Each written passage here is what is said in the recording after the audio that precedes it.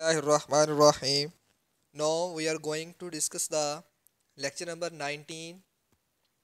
Topic का name हमारे पास है सीक्वेंस तो सीक्वेंस हमारे पास जो है, हम कहते हैं कि एक sequence is a just a list of element usually written in a row यानी सीक्वेंस के अंदर हमारे पास जस्ट एलिमेंट्स जो हैं, वो रॉ के अंदर मौजूद होते हैं. उसमें किसी किस्म का ऑपरेटर नहीं होता. यानी कि वो उसके अंदर प्लस का साइन भी नहीं है. माइनस का साइन इस तरह का कोई भी साइन नहीं होता। जस्ट आप आपके पास जो है वो एलिमेंट है। आपने उनको क्या किया है? रॉ के अंदर जस्ट रख देना है, ठीक है? जैसे कि आप यहाँ पे देख सकते हैं, ये सारी के सारी सीक्वेंस हैं। एक, दो, तीन, चार, पाँच। ये आपके पास कुछ एलिमेंट्स जो हैं, ये सारे आपके पास क्या है? सीक्वेंस की एग्जांपल हैं कि जिसमें आपके पास एलिमेंट्स जो यूजली रिटर्न इन रॉ अब एलिमेंट्स की क्या है? हमें यहाँ पे कोई और चीज़ हमने देखनी नहीं है कि बस हमारे पास एलिमेंट्स जो हैं वो रॉ में चल रहे हैं। तो ये एक सीक्वेंस के साथ चल रहे हैं। तो इनके अंदर सीक्वेंस जो है, क्या है, इसके बारे में हम बात नहीं कर रहे। जस्ट हमारे पास ये है कि सीक्वेंस जो है, वो जस्ट लिस्ट ऑफ़ एलिमेंट की होती है, जिसको रॉ में लिख दिया जाता है। ठीक है? अभी इसी सीक्वेंस से हम आगे जाएँगे यहाँ पे कि उसकी सिंबल जो है, हमारे पास, जैसे हम एम्प्लॉय दैट का नाम से भी जानते हैं कि ये आपके एम के लिए इंपॉर्टेंट है कि जैसे हम जो है एलिप्सिस के नाम से भी जानते हैं और इसको रीड करते हैं so forth and so forth तो हमारे पास फॉर्मल डेफिनेशन जो बनती है ना सीक्वेंस की, वो यही है कि is a function whose domain is a set of integer greater than और equal to a particle integer एक सीक्वेंस हमारे पास ऐसा फ़ंक्शन होता है जिसके अंदर डोमेन की अगर हम बात करें तो उसमें जो सेट ऑफ़ इंटीजर है, वो ग्रेटर देन होता है या इक्वल टू किसी पार्टिकुलर इंटीजर के। अभी पार्टिकुलर रीजन हमारे पास वो ख़ास नंबर होता है जिसके अकॉर्डिंग सीक्वेंस चल रही होती है। ठीक है ना? तो यहाँ पे उसने एक अनदर जो है होल नंबर की सीक्वेंस दी हुई है नेचुरल नंबर की दी हुई है। तो वहाँ पर एक नंबर जो है वो तरतीब से चल रहे हैं। ठीक है? तो नोटेशन उसने बता दिया है कि जो नोटेशन होती है, हमारे पास डोनेट करते हैं हम इंटीजर को एन तक जो है, वो टर्म जो है हमारे पास वो a one a two a three हर एक टर्म का जो नंबर है मतलब एलिमेंट की जो सीक्वेंस चल रही है ना, उनके टर्म है फ़र्स्ट टर्म है सेकंड टर्म है थर्ड टर्म है। जैसे ए वन को उसने ए वन का नाम दे दिया है जो फ़र्स्ट टर्म है। और ए टू जो है वो सेकंड टर्म है ए थ्री जो है वो फोर्थ टर्म है थ्री जो है वो थ्री टर्म है ए फोर जो है वो फोर्थ टर्म है। तो रिप्रेजेंट करता है सीक्वेंस के अंदर टर्म जो है वो रिप्रेजेंट की जाती हैं उनकी पोजीशन के हिसाब से। ठीक है ना? कि वो लिस्ट में किस नंबर पे आ रही हैं? ऑर्डर उनका क्या है? इंक्रीजिंग किस पॉइंट पे जा रहा है उनका?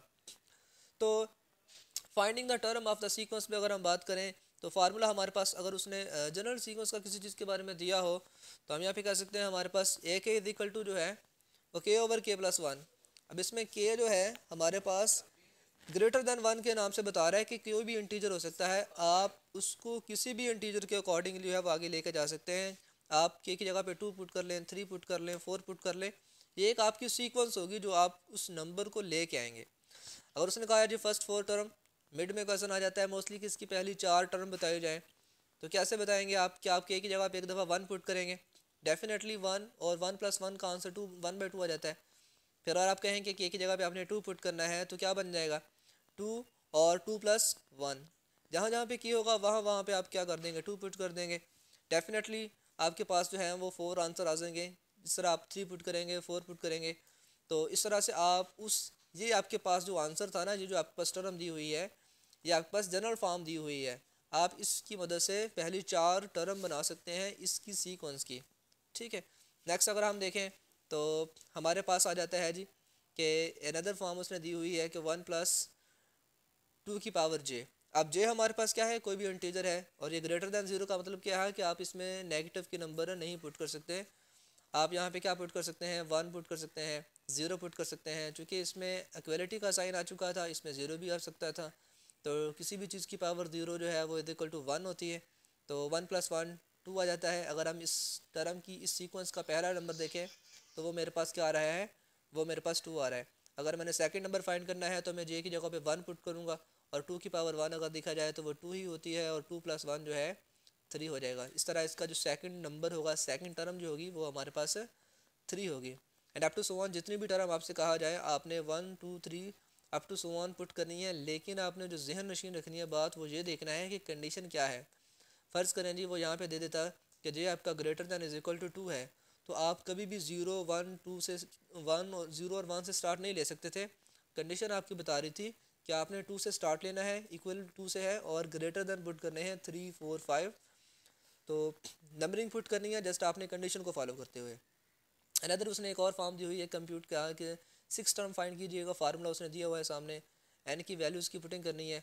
और इसमें आपने ये कसन दरअसल इस तरह से है कि इसमें आपने ये बात, इस बात का ध्यान देना है कि अगर आपके पास माइनस वन के ऊपर जो पावर आ जाती है इवन ठीक है, ये लाइक टू आ जाती है फोर आ जाती है सिक्स सेवन एट आ जाती है अगर आपके पास इंटीजर नंबर इंटीजर जो है ना, वो इवन में आ रहा है तो आपकी जो जो नेगेटिव का साइन है ना, ये ख़त्म हो जाएगा। और अगर आपके पास ऑड में आ रहा है ना तो आपका नेगेटिव रह जाएगा। जिस तरह पावर वन थी तो आप देख सकते हैं कि वन प्लस वन जो है आ, पावर ऑड थी तो वन माइनस रह जाएगा और वन से वन निकाल के आपको आंसर सिफर मिल रहा है। ठीक है? फिर अगर पावर तीन आती है तो फिर भी माइनस वन रह जाएगा फिर भी वो ज़ीरो हो जाएगा। पावर फाइव आती है फिर भी वो ऑड है माइनस रह जाएगा वो ज़ीरो हो जाएगा। तो डेफिनेटली अगर हमारे पास इवन आ रहे हैं जिसमें टू फोर इस तरह तो वहाँ पे माइनस ख़त्म हो जाते हैं। ठीक है? जब माइनस ख़त्म हो जाएगा तो वन प्लस वन जो है वो टू टू आंसर आता जाएगा। तो ये तो है आपके पास कि नंबर ऑफ़ टर्म किसी सीक्वेंस की कैसे फाइंड आउट करते हैं। अनदर आपने एक्सपेरिमेंट खुद कर लेना है। तो नेक्स्ट मैं आपको लेकर चलता हूँ, ये कुछ सोल्यूशन दिए हुए हैं, ठीक है? हम आते हैं अर्थमेटिक सीक्वेंस के ऊपर। तो अर्थमेटिक सीक्वेंस जो है, हमारे पास इस तरह से सीक्वेंस होती है कि अब आपके पास नंबर जो है वो विजुअली जो है वो रॉ में नहीं आएँगे, बल्कि आपके पास इन दी फॉर्म ऑफ़ कोई ऐसी टर्म होगी कि जिसमें एवरी नंबर जो है ना आफ्टर द फ़र्स्ट अपटेन होगा जो हमें, उसकी प्रिसेंडिंग के तौर पे चलेगा। यानी कि एक ऐसी सीक्वेंस होगी जिसके अंदर कॉमन डिफरेंस सेम हो। ऐसी सीक्वेंस को हम काम देते हैं अर्थमेटिक सीक्वेंस का। अगर आपको सिंपली मैं बता दूँ कि एक ऐसी सीक्वेंस जिसमें आपके पास कॉमन डिफरेंस सेम हो तो वो आपके पास अर्थमेटिक जो है वो सीक्वेंस के नाम से जानी जाती है अर्थमेटिक प्रोग्रेशन भी कहते हैं उसको, ठीक है? तो इनके क्वेश्चन भी उसने यहाँ पे दिए होंगे। तो डेफिनेटली उसको जो कॉमन डिफरेंस है, हमने उसे डी रिप्रेजेंट करना है और अर्थमेटिक प्रोग्रेशन को हम कॉमनली ए डॉट पी के नाम से जानेंगे। तो यहाँ पे देखें, उसने फाइव नाइन थर्टीन और सेवनटीन के नाम से सीक्वेंस दी है तो इसमें कॉमन डिफरेंस देखें। नाइन से फाइव करेंगे माइनस तो तभी फोर आएगा। थर्टीन से नाइन माइनस करेंगे तब भी फोर आएगा। तो हम यहाँ पे कह सकते हैं कि ये हमारे पास जो है ना ये कॉमन डिफरेंस इनका जो है वो सेम है।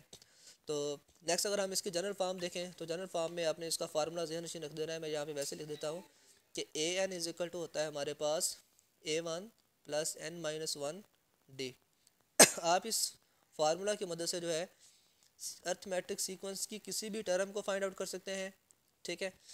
और इसके अलावा आपके पास अगर कोई आंसर गिवन हो तो आप उस आंसर का नंबर ऑफ़ टर्म बता सकते हैं कि ये कितनी टर्म पे जाके आंसर है इसका।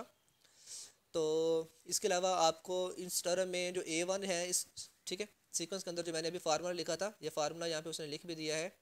तो इस फार्मूले में आप देख सकते हैं कि जो आपका ए होता है ना, ये आपकी फ़र्स्ट टर्म होती है। एन आपका नंबर ऑफ़ टर्म है और डी आपका कॉमन डिफरेंस है।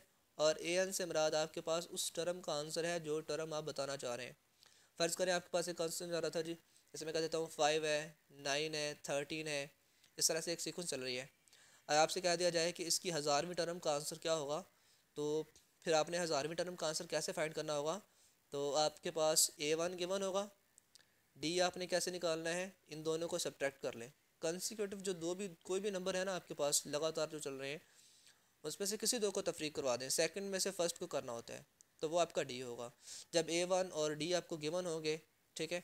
और एन आप कह रहे हैं कि हमने हज़ारवीं टर्म फाइंड करनी है तो आप क्या करेंगे? इसमें पहली टर्म इसमें हज़ार पुट कर दें, इसमें कॉमन डिफरेंस पुट कर दें और आपको उस सीक्वेंस की हज़ारवीं टर्म का आंसर जो है वो ए एन की फॉर्म में मिल जाता है। ठीक है? तो लाइक उसने कहा था कि ये आपके पास सीक्वेंस चल रही है three nine fifteen twenty one इसकी बीसवीं टर्म का आंसर बताइएगा। तो हम इसे खुद सॉल्व करके देख लेते हैं पहले। तो कंडीशन के मुताबिक मैंने फार्मूले में कहा था कि ए एन आपका वो बीसवीं टर्म है तो मैं लिख देता हूँ जी ई ए ट्वेंटी लिख लेता हूँ। ए वन में मेरे पास क्या आ रहा है? थ्री आ रहा है। तो एन माइनस वन एन मेरे पास क्या है? ट्वेंटी है। तो एन माइनस वन मैंने ट्वेंटी से वन को माइनस कर दिया तो नाइनटीन आ जाता है। तो कॉमन डिफरेंस में देख लें क्या आता है। हाँ जी, क्या आ रहा है जी वहाँ पे कॉमन डिफरेंस तो नौ में से तीन निकालेंगे, तब भी छः है। फिफ्टीन में से नाइन निकाल देंगे तो तब भी छः आ रहा है। तो कॉमन डिफरेंस मेरे पास कितना आ रहा था? सिक्स आ रहा है ठीक है? अब आपने क्या करना है? नाइनटीन को सिक्स से मल्टीपल करें तो कितना होता है जी? नाइनटीन को सिक्स से मल्टीपल करेंगे तो? तो ये फोर आ जाएगा फाइव हासिल होते हैं और नौ छः कितने हो जाते हैं हमारे पास? इधर आप इसे करके देख लें कि आपके पास कितना आ जाता है। यहाँ पे फाइव आ जाएगा और फिर उसके बाद आ, हमारे पास आ जाता है सिक्स और ये फाइव नाइन तो ये हमारे पास क्या आ चुका है जी? हाँ जी तो अगर हम इसको नाइनटीन से मल्टीपल कर देते हैं तो हमारे पास आ जाता है जी। इधर मैं देख लेता हूँ जी करके। एक सौ चौदह आ रहा है जी हमारे पास। एक सौ चौदह में हम तीन को जमा कर देंगे तो एक सौ सतारह। यानी इसका एक सौ सतारह होगा टर्म, अगर मैं इसकी बीसवीं टर्म को यहाँ पे देखता हूँ तो। ठीक है? तो डेफिनेटली उन्होंने देखें सॉल्व भी किया हुआ है, बिल्कुल इसी तरह से कि अगर हम सॉल्व करते हैं उस अकॉर्डिंग टू फार्मूले के कि हम ए वन में ए में फ़र्स्ट टर्म को पुट कर देंगे एन से मराद जो भी टर्म फाइंड करनी है और डी से मराद हमारा कॉमन डिफरेंस है देन हम यहाँ पे इजीली उस सीक्वेंस को बता सकते हैं। हम ऐसा भी बता सकते हैं कि अगर आपको अचानक किसी टर्म का नंबर बता दिया जाए और आपसे पूछ लिया जाए कि ये कितनी टर्म का आंसर होगा तो उसके लिए जैसे कि उसने ये कहा दिया है कि आपके पास सेवेंटी सेवन है, ठीक है? और आपसे कहा जा रहा है कि ये बताएँ कितनी टर्म का आंसर होगा, अगर चार, एक माइनस दो, इस तरह से सीक्वेंस चल रही हो तो कितने नंबर पे जाके जो है, कौन सी टर्म होगी कि जिसका आंसर माइनस सेवेंटी सेवन होगा? तो ये भी हम दे देंगे कि हमारे पास माइनस सेवेंटी सेवन उस टर्म का आंसर है। ए वन हमारे पास फोर है और एन हमें फ़ाइंड आउट करना है यहाँ से। क्योंकि हमें टर्म का पता नहीं है, वो हम यहाँ पे फाइंड आउट करना चाहते हैं। और डी हमारे पास यहाँ पे देख लें, एक में से चार माइनस करेंगे तो वो माइनस का क्या बन जाता है? थ्री बन जाता है। ठीक है? अब फोर को इधर आके माइनस कर ले माइनस सेवेंटी सेवन से फोर माइनस हो जाएगा। तो ये हमारे पास क्या बन जाएगा?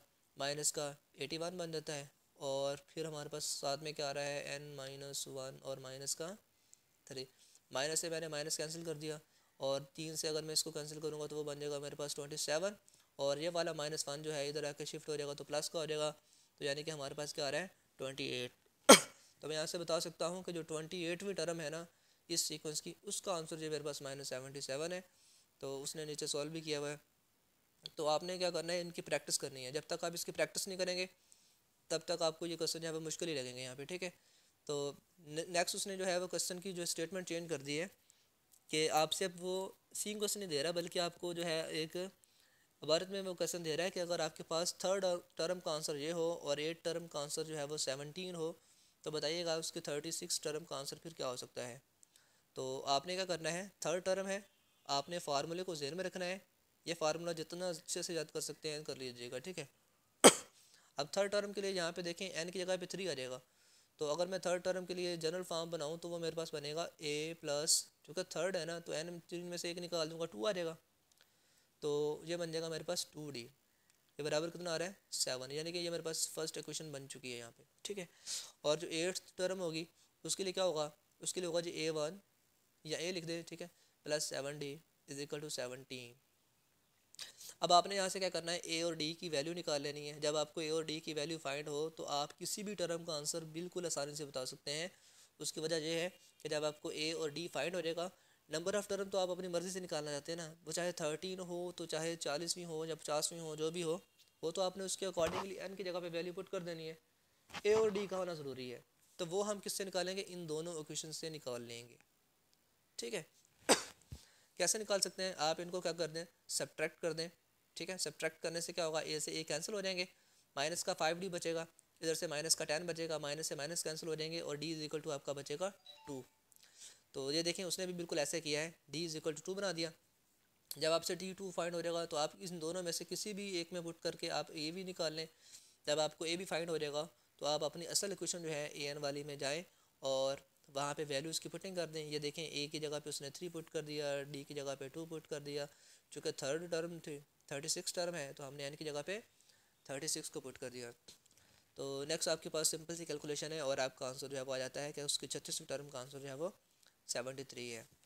तो ये तो था हमारे पास अर्थमेटिक प्रोग्रेशन अब मैं आपको बताता हूँ जोमेट्रिक सीक्वेंस क्या होती है। जोमेट्रिक सीक्वेंस में हमारे पास इस तरह से होता है कि अब हम, हमारे पास सीक्वेंस इस तरह से है कि जिस तरह मैंने पिछले क्वेश्चन में कहा था, पिछली सीक्वेंस थी, वो थी हमारे पास एडिशन के हिसाब से चल रही। यानी कि उसमें नंबर जमा होते जा रहे हैं, जमा होकर कॉमन डिफरेंस सेम होता जा रहा है। हर एक आने वाले नंबर टर्म जो है, उसमें सेम नंबर जमा होकर आ रहा था। जोमेट्रिक सीक्वेंस में ऐसा होता है कि आपके पास नंबर तो होते हैं, लेकिन ये नंबर मल्टीप्लिकेशन के हिसाब से होते हैं। यानी कि हर आने वाला नंबर जो है, वो किसी खास नंबर के मल्टीपल से आ रहा है, ना कि एडिशन से आ रहा है। ठीक है? तो ऐसी सीक्वेंस जिसमें हम कहते हैं कि sequence in which every term after the first is obtain in from the preceding term by multiplicating of a constant number उसमें एडिशन था, यहाँ पे क्या जाता है? मल्टीप्लीकेटिंग ठीक है? तो देन हम ऐसी सीक्वेंस को नाम देते हैं जोमेट्रिक सीक्वेंस का, ठीक है? या हम इसे जोमेट्रिक प्रोग्रेशन भी कहते हैं। इसमें भी फ़र्क देख लें जोमेट्रिक सीक्वेंस और जोमेट्रिक प्रोग्रेशन जो होती है ना जोमेट्रिक सीक्वेंस जस्ट आपके पास इंडिकेशन के लिए होता है। जोमेट्रिक प्रोग्रेशन में आप उसकी कैलकुलेशन करते हैं जाके, ठीक है? तो जिस तरह अर्थमेटिक प्रोग्रेशन में कॉमन डिफरेंस सेम होता था, जिसे हम डी से रिप्रेजेंट करते थे जोमेट्रिक सीक्वेंस में हमारे पास कॉमन रेशो होती है। इसमें रेशो सबका सेम होगा। ठीक है? लाइक मैं यहाँ पे कोई एग्जांपल दे देता हूँ आप लोगों को कि जैसे कि वन टू फोर ठीक है? एट सिक्सटीन आप इसमें से किसी एक को भी डिवाइड करें। डिवाइड आपने इस तरह से करना होता है, जिस तरह आप उसमें सेकंड में से फ़र्स्ट को माइनस करते थे, यहाँ पे सेकंड में फ़र्स्ट को डिवाइड करना है। तो फोर को टू पे डिवाइड करें, तब भी टू आ रहा है। एट पे फोर को डिवाइड करें, तब भी टू आ रहा है। तो हम यहाँ पे कह सकते हैं कि कॉमन रेशो जो है इनका सेम होता है। तो ऐसी सीक्वेंस हमारे पास जो है वो जोमेट्रिक सीक्वेंस के नाम से जानी जाती हैं। इनका फार्मूला भी देख लें। उनका फार्मूला हमारे पास आ जाता है जी कि ए आर की पावर एन माइनस वन ठीक है?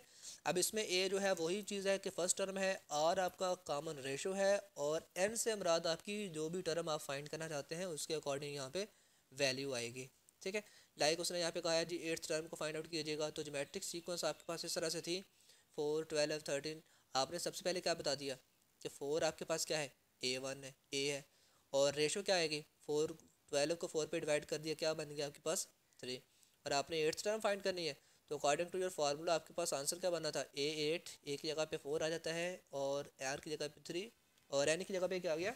एट तो एट में से वन माइनस करेंगे सेवन तो थ्री की पावर सेवन जो होती है ना, वो ट्वेंटी वन एटी सेवन की इक्वल होती है। देन आप इसको फोर से मल्टीपल करते हैं तो आपके पास एटी सेवन फोर्टी एट आ रहा है। ठीक है? तो बहुत ही आसान क्वेश्चन है। जस्ट प्रैक्टिस करनी है आप लोगों को। इसी तरह से अब आपसे रिटर्न में वो कह देता है जी what is, which is our geometric sequence is 1 over 8 if the first term is 4 and common ratio is 1 by 2 हाँ जी, आपने, आपको उसने सब फ़र्स्ट ऑफ़ ऑल जो है वो ए बता दिया, यानी फ़र्स्ट टर्म बता दी है और कॉमन रेशो बता दी है। और आपसे पूछ क्या रहा है यहाँ पे? नंबर ऑफ़ टर्म के बारे में पूछ रहा है कि जिसका आंसर वन ओवर एट आ जाए। तो ये देखें, उसने क्या कर दिया है? अपने अपने पॉइंट पर ए एन का आंसर पुट कर दिया ए का आंसर पुट कर दिया आर का आंसर पुट कर दिया और एन तो हमने फाइंड करना है। वो हमारा वैसे रह जाता है। तो अब यहाँ से देखें, मैं कभी भी इस टू को, इस फोर से कैंसिल नहीं कर सकता। उसकी वजह यह है कि मेरे पास पावर में कुछ है। ऐसा जिसका मुझे पता ही नहीं है, ठीक है? तो फ़र्स्ट ऑफ़ ऑल जो है, ये वाला फोर जो है ना, इधर आके इससे मल्टीपल होगा। तो वो बन जाता है थर्टी टू देन हम कह सकते हैं कि थर्टी टू तो होता है वन ओवर टू की पावर फाइव तो अब बेस सेम हो चुकी है. One over two one over two base same है. Five is equal to N minus one और एन का आंसर यहाँ पे क्या गया? सिक्स तो हम यहाँ पे कह सकते हैं कि वन ओवर एट जो है, ये वन बाई टू की सिक्स टर्म का आंसर है. बिल्कुल इस तरह से जिस तरह हम अर्थमेटिक प्रोग्रेशन में किसी भी नंबर ऑफ़ टर्म को फाइंड कर सकते थे, हम इस तरह से जोमेट्रिक सीक्वेंस के अंदर भी किसी नंबर ऑफ़ टर्म के बारे में आंसर को देखते हुए बता सकते हैं कि ये किस टर्म का आंसर है। ठीक है? तो नेक्स्ट आपके ये वाला जो है वो आपकी प्रैक्टिस के क्वेश्चन है। आपने इसे खुद करना है। अगर कोई प्रॉब्लम होगी तो आपने मुझसे लाजमन डिस्कस कर लेना है। All the best